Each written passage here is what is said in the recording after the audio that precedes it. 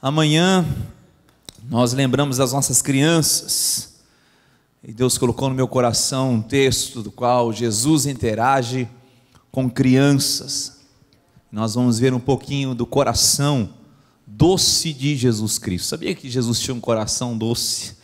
Sabia que Jesus Cristo tinha um coração que atraía as crianças? E eu quero convidar você a abrir a sua Bíblia no Evangelho de Mateus, no capítulo 18, Mateus, capítulo 18. Nós vamos ler os primeiros cinco versículos. Mateus, Evangelho de Mateus, no capítulo 18. Você que está aqui na nave ou no nosso culto drive-in, dentro do seu automóvel, ou você que está em casa, acompanhe a leitura bíblica, Mateus 18, do versículo 1 ao versículo 5. Naquela hora aproximaram-se de Jesus os discípulos, perguntando: Quem é porventura o maior no reino dos céus? E Jesus, chamando uma criança, colocou-a no meio dele, deles, e disse: Em verdade vos digo, se não vos converterdes e não vos tornardes como crianças, de modo algum entrareis no reino dos céus. Portanto, Aquele que se humilhar como esta criança, esse é o maior no reino dos céus. E quem receber uma criança tal como esta, em meu nome, a mim me recebe. Ainda em Mateus, agora no capítulo 19, eu quero ler com você o versículo 13, 14 e 15, na próxima página da sua Bíblia, provavelmente. Versículos 13, 14 e 15 de Mateus 19 diz: Trouxeram-lhe então algumas crianças para que lhes impusesse as mãos e orasse. Mas os discípulos os repreendiam.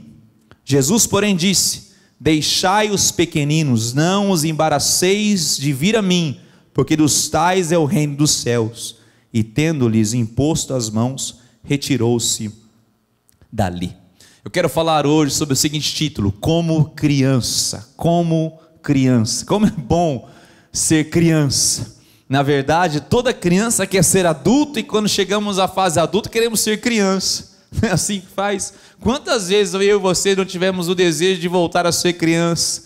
Mas no sentido de não ter responsabilidades, no sentido de não se preocupar com o boleto que vence na segunda-feira, no sentido de não ter que trabalhar e outras coisas a mais. Mas aqui Jesus mostra que na verdade a criança tem muito a que nos ensinar, muito. Jesus chama essa criança para ensinar aos seus discípulos. Eu quero que você e eu entendamos o que Jesus quis, quis fazer com essa criança, no meio daqueles discípulos, porque nós estamos aí nas, na véspera do Dia das Crianças. E quando você interagir com uma criança, seja quem sabe você que tem a graça de ser pai ou mãe, avô ou avó, ou você que tem contato com qualquer criança, assim como foi com esses discípulos, que eu e você possamos aprender grandes lições com que Jesus Cristo nos traz, nos traz hoje. Nós só vamos compreender a beleza dessa passagem quando entendemos o contexto dela. Na verdade, aqui Jesus estava indo para Jerusalém, conforme Mateus vai relatando, o seu caminho rumo a Jerusalém, onde ele seria crucificado, ele seria ali morto naquela cruz, ele marchava para a cruz. Mas mesmo nessa caminhada dramática para Jerusalém, nessa caminhada rumo à cruz, do qual Jesus em nenhum momento fugiu dela, mas a enfrentou por amor a mim e a você, ele teve tempo para parar e acolher crianças. Diz o texto do capítulo 19 que trouxeram as crianças até Jesus, para que pudesse impor as mãos e orar por elas. Os discípulos que não entendiam nada dos valores do reino de Deus até então, eles quiseram impedir as crianças e ele falou: Deixai vir a mim os pequeninos, porque dos tais é o reino de Deus. E ali diz o texto que ele pegou aquelas crianças no colo, as abençoou, orou por elas. Ou seja, Jesus abre um tempo em sua agenda para as crianças. Mas muitas vezes nós achamos e deixamos as crianças de lado. Muitas vezes nós deixamos as crianças a quem? Graças a Deus, graças a Deus, essa igreja tem esse DNA de valorizar. Quanto mais jovem é, mais valor nós damos a eles e a elas. Nós valorizamos desde as crianças, nossos adolescentes e jovens. Mas entendemos que as crianças aqui têm um valor muito especial. Se Jesus as valorizou, quanto mais eu e você, como seguidores de Cristo, temos que valorizá-las. Por isso Jesus Cristo disse: oh, Em verdade vos digo que se não vos converterdes e vos tornardes como crianças, Ele diz: De modo algum entrareis no reino dos céus. Na verdade, Jesus ao encontrar espaço na sua agenda para acolher as crianças, como eu disse no começo, mostra o coração doce que ele tinha. Sabe que nós só levamos os nossos filhos, as nossas crianças, para pessoas que as tratam bem. Quer ver uma coisa? Você, pai e mãe, se tem alguém que acolhe bem o seu filho, cuida bem do seu filho, ele vira automaticamente seu amigo, não é assim não? É? se cuida bem dos meus filhos, se ama os meus filhos, eu posso até não conhecer totalmente, mas eu acabo amando essa pessoa, porque ele está amando a pessoa que eu mais amo nessa terra, que são os nossos filhos. Se acolhe bem os meus filhos, ganhou meu coração, é assim que o pai e a mãe pensam. É assim que era Jesus. Ali diz que levavam as crianças até Jesus, com toda certeza podemos dizer que Jesus era uma pessoa acolhedora. Jesus era uma pessoa, e eu vou pedir licença aqui para dizer, muito brincalhona. Jesus certamente brincava com as crianças. Eu tenho uma visão de um Jesus que para nós é um exemplo de ser humano. Você quer ser um ser humano exemplar, você tem que olhar para Jesus, o Deus que virou humano, o Deus que se tornou homem. Ele é o exemplo de homem, de ser humano. E ele ali, ele acolhe as crianças. Eu imagino Jesus brincando de pega-pega com as crianças. Eu imagino Jesus, quem sabe, não sei se tinha ali naquela época da Galileia, brincando de amarelinha com as crianças, né? E ele sempre chegava no céu primeiro. Eu imagino Jesus pegando as crianças de colo, colocando nos seus ombros, brincando com elas. Eu imagino Jesus e as crianças amando a Jesus, porque as crianças não foram forçadas a ir a Jesus. As crianças queriam ir até Jesus. Será que podemos dizer que as crianças nos amam? Será que nós somos pessoas agradáveis às crianças? Será que nós somos pessoas divertidas nós somos pessoas carrancudas? Né? Eu lembro quando era moleque jogando bola, quando a bola caía no vizinho, perdeu a bola, já era. Porque eu tinha um vizinho carrancudo. Ele fazia questão de pegar a faca e furar a bola e devolver a bola furada, rasgada. Queima Jesus. Tá certo que eu não era aquela coisa, né, de criança. Eu tenho que reconhecer também.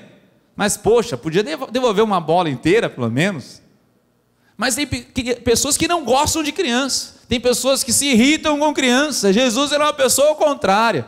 Jesus, ele atraía as crianças. Ah, e nessa época, as crianças eram totalmente marginalizadas.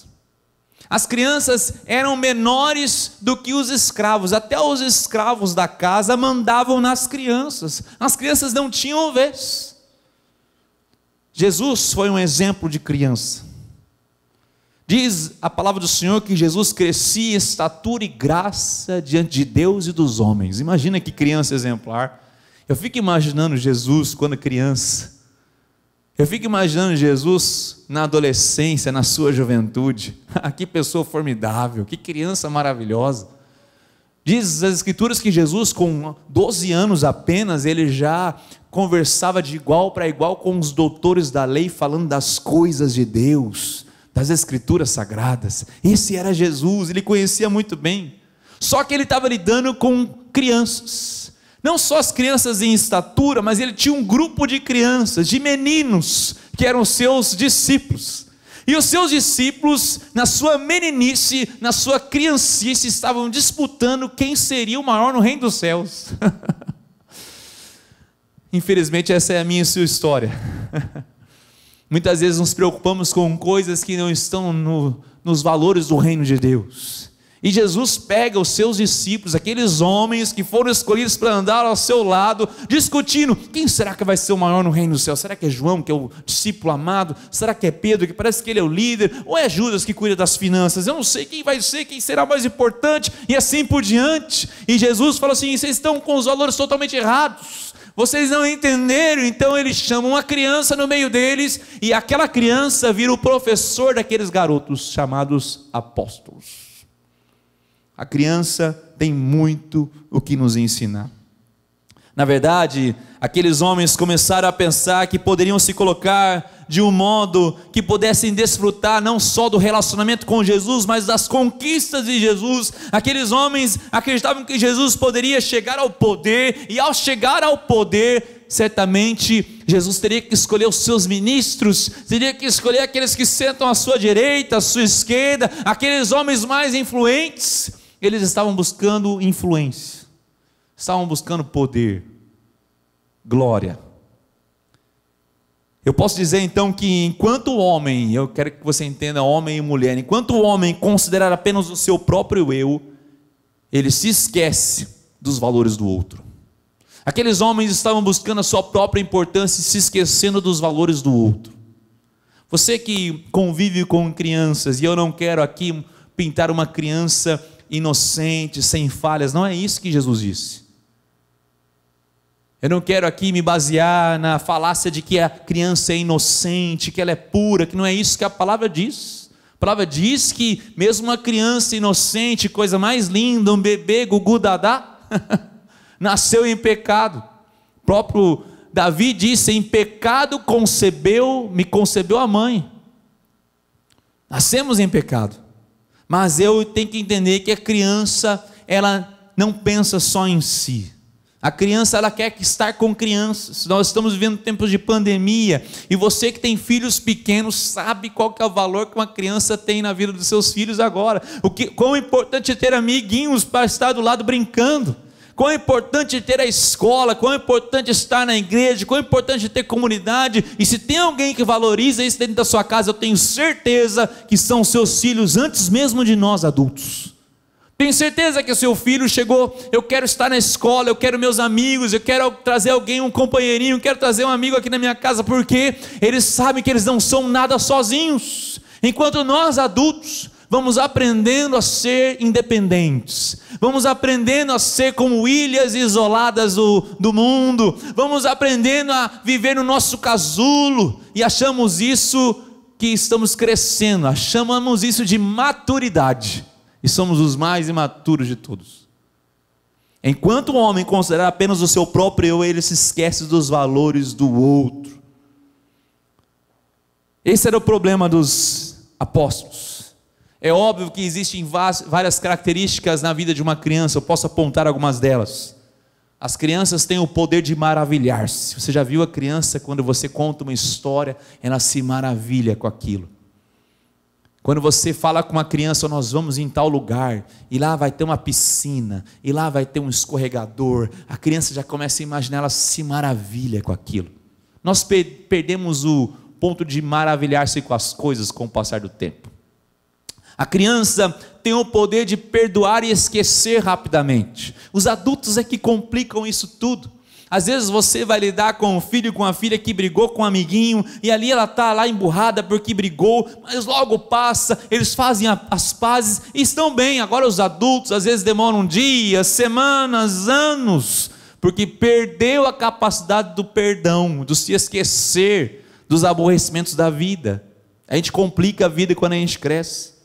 É claro que a criança também tem a sua inocência, a inocência de querer aprender e não precisa desaprender nada. São várias características que há numa criança se eu e você observarmos, mas eu quero aqui apontar três características que eu acredito que Jesus estava apontando e destacando na vida daquela criança, que não se menciona quem era, mas a vida de uma criança para os discípulos, para os seus apóstolos. O primeiro é que, como criança, preste atenção, como criança, andamos em humildade. Versículo 4, Jesus disse, do capítulo 18: Portanto, aquele que se humilhar como esta criança, esse é o maior no reino dos céus. Enquanto os seus discípulos estavam pensando em quem era o maior, quem seria o maior no reino dos céus, Jesus fala: você tem que se humilhar com essa criança, você tem que buscar essa humilhação, essa pequenez, você tem que se procurar no anonimato, você tem que desaparecer. Por quê? Porque a criança não tem essa vontade de se fazer notada. A criança não tem essa, essa, esse desejo de sair do anonimato e aparecer. A criança ela consegue viver nesse mundo da humildade. E aqui apresenta-se para nós o contraste entre essa atitude pretensiosa dos discípulos e a falta de pretensão por parte de uma criança. Como eu disse, essa criança vira o professor daqueles adultos, e quantas vezes nós não aprendemos com crianças? Quantas vezes nós não somos ali é, é, aprendizes aos pés dos nossos filhos e nossas filhas? Quantas vezes eles falam, têm atitudes tão maravilhosas que ensinam os pais. Quantas vezes eu já não aprendi com os meus filhos? As crianças são humildes, não se preocupam com o status. Enquanto os discípulos estavam procurando uma posição de destaque no reino dos céus, Jesus chama aquela criança, sabe por quê? Porque a criança não é dominada por ambições. Nosso coração, ao crescer, ao alcançar a maturidade, ele é seduzido pela ambição. A ambição faz pessoas e até anjos quererem ser maior que Deus. A palavra do Senhor diz que Lúcifer, esse anjo de luz, em certo momento ambicionou, teve o seu coração seduzido por ser maior. E ele foi lançado dos céus. A palavra do Senhor diz que nós, como seres humanos, Adão e Eva, ambicionamos, queremos mais, buscamos mais. Quando ali comemos aquele fruto, que eu já falei para você e não canso de dizer que para mim é uma jaca, porque a gente pisou na jaca. E ali comendo aquele fruto, estávamos ambicionando mais, queremos a nossa independência. O coração da criança não é, não é dominado por ambições. Veja Jesus, Filipenses capítulo 2, versículo 5 ao versículo 8 diz que Jesus esvaziou-se de si mesmo. Imagine só, hoje numa numa sociedade que fala que você tem que se encher, que você tem que ser capaz, que você tem que ser capacitado, que você tem que cada dia mais buscar ser capaz, porque é isso que é valorizado na sociedade. Jesus faz ao contrário, por isso que os valores do reino de Deus são ao contrário, e em vez de querer ser o maior no reino dos céus, ele fala como criança, se não se tornar como criança, não tem lugar no reino dos céus, e ele mesmo é a prova disso, que o Deus se esvaziou de si mesmo, diz o texto que ele se humilhou a si mesmo. Quantas vezes nós temos a oportunidade de nos humilhar, mas não, não, não nos humilhamos para alcançar alguém, para tratar uma situação, mas nós subimos ainda no pódio ainda mais alto, nós queremos ainda nos impor ainda mais, porque o nosso coração é seduzido, é dominado por ambições. As crianças nos ensinam que a maior ambição que elas têm é estar com pessoas que elas amam.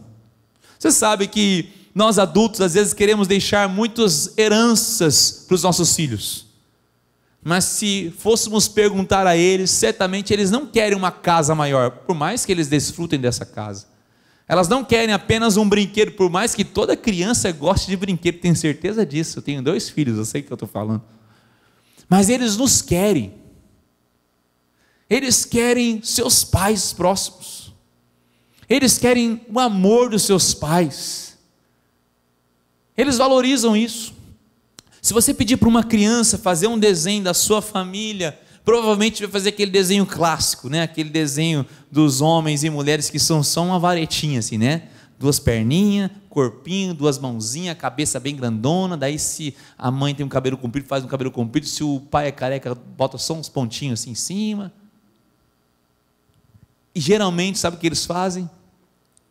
Desenha o papai, desenha a mamãe, e geralmente eles estão no meio segurando a mãozinha. Ou então faz escadinha, né? Papai, mamãe, os irmãozinhos e, quem sabe, desenha o cachorrinho lá no cantinho. Porque sabem a constituição familiar, eles, eles querem ser amados. Então, como crianças, andamos em humildade. A segunda lição que eu vejo aqui é que, como criança, como criança, nós somos inteiramente dependentes. Criança é dependente, não é verdade? Ela depende. Uma criança, como nasce, quando nasce um recém-nascido, é totalmente dependente. Mas infelizmente, ao crescer, eles vão adquirindo independência. Tem aquela independência natural e normal e sadia do crescimento de todo ser humano. Mas muitas vezes nós aliamos essa independência aos pais por uma independência de Deus. E Deus ali, ao mostrar para aqueles discípulos, aquela criança, Ele está falando assim: olha, vocês têm que ser dependentes de Deus. Porque se não for por essa dependência, vocês jamais serão salvos, jamais nem mesmo entrarão no reino dos céus, quanto mais disputar um local de, é, de excelência dentro do reino dos céus, uma posição alta dentro do reino dos céus.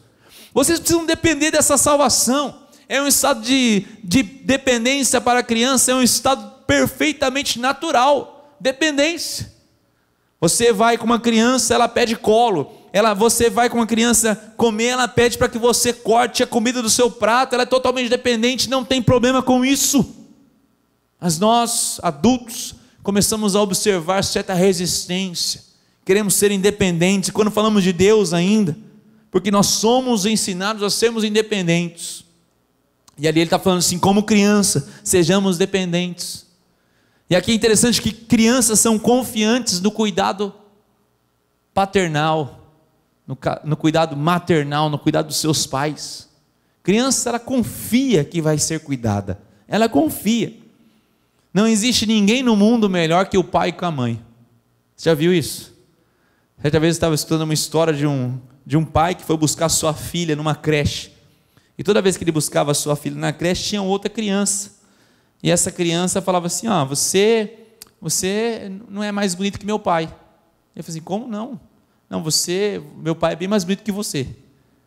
E ele ficava assim meio constrangido, mas como assim? Ele falava assim: "No outro dia buscava sua filha, a menina estava lá de novo". Falei assim: "Ah, o carro do meu pai é bem mais bem mais veloz que o carro, o seu carro". Falei, poxa, mas que carro? Não, meu carro do meu pai é bem melhor que o seu. E a menina, sim, autoconfiante. O cara estava até com medo de conhecer a mãe da menina, né? Porque falou assim: quem que é esse? Deve ser o Superman, deve ser um astro de televisão. No outro dia, o meu pai é bem mais bonito que você. Poxa, eu tenho que conhecer o pai dessa menina. Diz, diz a história que esse, esse homem ficou até mais tarde para ver o pai dessa menina. E chegou o pai da menina buscando também. Falou assim: agora eu vou conhecer quem que é esse melhor carro, o homem mais forte, o homem mais bonito. E chegou lá um homem baixinho, meio careca, com um carrinho popular, saiu, né, com aquele paletó meio longo, saiu, pegou aquela menina, mas pegou, abraçou aquela menina, e para aquela menina, aquele era o pai mais forte, o mais bonito, era o melhor carro de todos, porque para a menina, aquele pai era um herói. para os nossos filhos, nós precisamos ser heróis, queridos. Eles têm que confiar no nosso cuidado, no nosso amor para com eles. Conta essa história que uma criança estava dentro de um avião e aquele avião estava em grande turbulência, aquela criança estava viajando também naquele avião e muita turbulência e pediram para que todos os passageiros se assentassem, colocassem os cintos porque passariam por uma grande turbulência, e estava todo mundo com muito medo, né? O pessoal de tripulação estava cuidando dos passageiros e viram aquela criança muito serena, tranquila, colocando seu cinto de segurança, numa boa, né? Uma criança, né? E a aeromoça perguntou: "Tá tudo bem? Você está tranquilo? Está acontecendo porque nós estamos passando uma tribulação? Você tá... Ele falou assim: "Estou tranquilo, tranquilo, tranquilo, porque o meu pai é o piloto." Meu pai está pilotando isso aqui tudo. Estou tranquilo, pode ficar sossegado que ele sabe o que faz. é a confiança que uma criança tem no seu pai, no amor do seu pai. Por isso que, como crianças, precisamos depender inteiramente do pai. E aqui eu não estou falando do pai nosso terreno, estou falando de um pai celestial. E esse cuidado é um cuidado de um pai que cuida até mesmo quando disciplina. Hebreus fala que Deus ama o filho a quem disciplina. Sabia que até a disciplina é um cuidado, é um amor para os nossos filhos, até a disciplina é um cuidado e um amor para cada um de nós. Então, se você está sendo disciplinado, saiba que você está sendo amado. Minha mãe falava para sempre para mim que uma criança que está ali em birra, fazendo alguma coisa, ela está pedindo disciplina. Às vezes as crianças, nossos filhos pedem disciplina, pedem limites, e nós não fazemos isso. Achamos que isso é, tem a lei da palmada, não pode mais dar palmada. Ah, não, não pode, mas esse negócio de vara da, da Bíblia é coisa ultrapassada. Agora vamos comprar um tapetinho, colocar no canto da sala. a gente querendo inventar as coisas que Deus já colocou na palavra de Deus.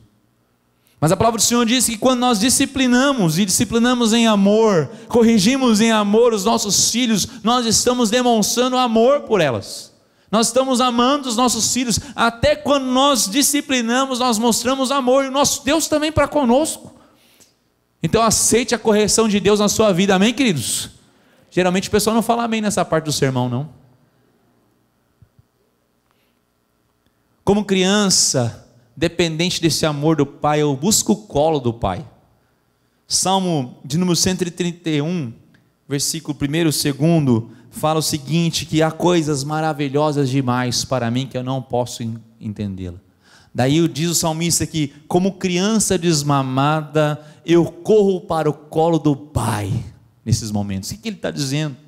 Você já viu uma criança em dia de tempestade, dá aquele trovão, a criança corre de medo. Para onde que ela corre? Para onde que ela corre, gente? Ela corre para o quarto e fecha a porta e fica sozinha lá? Lógico que não, corre para o colo do pai ou da mãe. Aqui ele está falando de uma criança desmamada, ou seja, ela não corre para o colo do pai ou da mãe porque ela quer alimento, ela corre para o colo porque quer se sentir segura. A criança ela sabe para onde correr em tempos de aflição. Jesus está falando, vocês têm que se tornar como uma criança no tempo de aflição, quando existirem coisas que você não compreende, quando a morte de alguém bater na sua porta e você não compreender, como uma derrota chegar na sua casa você não compreender, o que, que você faz? Corre para o colo do pai e se aquieta. Diz que ele corria para o colo do pai e aquietava a sua alma. A criança se acalma no colo de uma mãe, no afago de um pai. Jesus tem nos convidado para isso, sabe por quê? Porque Jesus compartilhou do seu Pai conosco. Nós já falamos sobre isso. Jesus é que introduziu o Pai para que eu e você pudéssemos relacionar com Deus. Jesus compartilhou do seu Pai para com outros filhos e filhas. Diz o texto bíblico que ele nos deu o poder de sermos feitos filhos de Deus. Como filhos, corramos para o colo do Pai quando as coisas vierem que eu não compreendo. Terceira e última lição. Como criança, nós esperamos ser amados. Toda criança espera ser amada. Toda criança espera essa confirmação do amor do pai para com ela ou com ele. A criança ela é instintivamente dependente, confia que seus pais vão satisfazer todas as suas necessidades. Quando somos crianças, nós nos preocupamos com o que nós vamos comer, né? Porque sabe que o pai e a mãe vai dar. Você já viu criança preocupada como é que vai ser a viagem? Tá o pai e a mãe, né, fazendo mala, vendo qual que vai ser o trajeto, vendo como é que vai ser a viagem lá para a praia. A criança não quer nem saber disso, só quer chegar, né? E ela fica na estrada, cada 15 minutos, papai chegou? Papai chegou? Já estamos chegando? Porque ela não está preocupada com o que vai acontecer, se vai ter dinheiro para o pedágio, aonde você vai ficar naquele local, ele quer chegar, ele quer ir com você, porque ele confia que você vai levar, confia que você já previu tudo.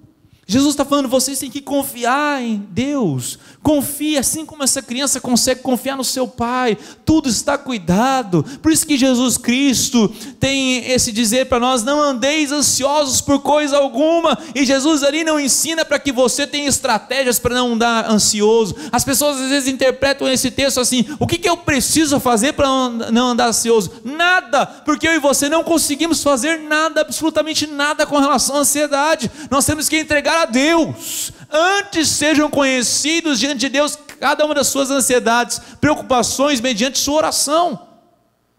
Porque é Ele que pode sanar a nossa ansiedade. Como eu disse, como criança esperamos ser amados, até mesmo na disciplina do Pai. Jesus, ao chamar aquela criança, no meio daqueles apóstolos, ele está falando assim: ó, recebam Receba o amor do Pai assim como essa criança recebe o amor do seu Pai. Aprendam com essa criança. Eu e você somos chamados essa noite a aprendermos como uma criança. Amanhã é dia das crianças. Eu quero que você medite sobre isso. Certamente você vai ter algum tipo de interação com alguma criança. Você vai lembrar dessa palavra. É claro que Jesus em nenhum momento defendeu que as crianças são inerrantes que a inocência delas vai levá-las ao céu, não, elas precisam de encontro com Jesus Cristo também. Mas há muitas das atitudes das nossas crianças que podem servir de grande ensinamento para mim e para você. E ele termina no versículo 5, ainda do capítulo 18, olhe para esse texto. Ele fala: E quem receber uma criança tal como esta em meu nome, a mim me recebe. Eu quero terminar essa mensagem com algumas aplicações, bem rápida. Primeiro, lembre-se que Jesus tem profunda afeição pelas crianças. Quando nós falamos aqui de ministério infantil, quando a gente fala aqui de igreja da criança, ah, não é um marketing, é amor por elas. Eu louvo a Deus por participar de uma igreja Revenozinha anos atrás, quando instaurou o meu próprio pequeninos. Crianças que são alcançadas, crianças que provavelmente aqui ninguém conheça. Famílias que você não tem acesso. São crianças que são ministradas ali. Esse prédio da igreja da criança que está construindo, hoje nós estamos vendo só pilares ainda, mas eu tenho pedido para que você, discípulo dessa igreja, ao passar por ali, comece a orar não pela construção, mas pelas crianças que serão alcançadas, porque eu já vejo aquilo lá pronto, querido, eu já vejo aquilo lá sendo cheio de crianças, eu vejo aquilo lá sendo bênção para a vida das famílias, eu, eu consigo ver ali crianças trazendo seus pais, suas mães, tio, tia, avô e avó. Eu não sei se você consegue ver isso, mas eu queria que você tivesse essa visão espiritual daquele ambiente. Deus vai usar isso como instrumento na vida de tantas famílias.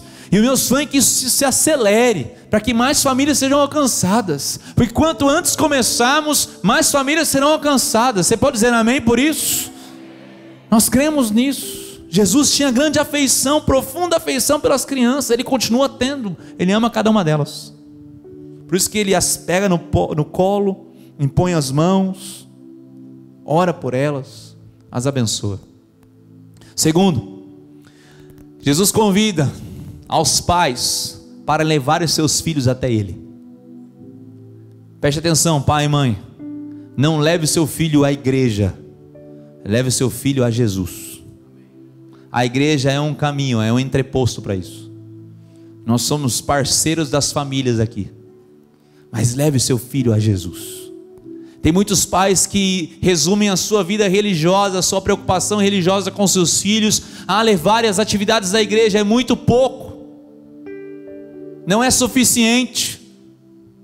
Tem que ir muito além disso. Continue a fazer isso sem se esquecer da sua responsabilidade como pai, orando, abençoando seus filhos, ensinando os valores cristãos, não só quando você lê a Bíblia com eles, mas também na sua vida todos os dias.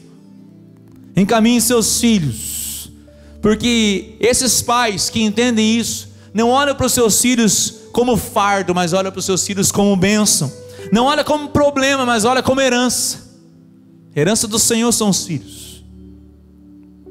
E terceira e última aplicação: busquemos um coração como de criança. Coração que entende essa humildade, que não tem ambições destrutivas. Um coração que é dependente totalmente desse pai que supre suas necessidades e dessa criança que é confiante totalmente no amor de um pai. De um pai que foi capaz de doar o seu próprio filho, Jesus de um pai que, numa leitura descuidada, parece um pai descuidado, mas na verdade é um pai amoroso. Como pode um pai dar do seu filho na cruz? Mas quando somos alcançados por esse sacrifício, entendemos como pode esse pai maravilhoso alcançar tantos filhos e filhas, nos adotar como filhos e filhas dele.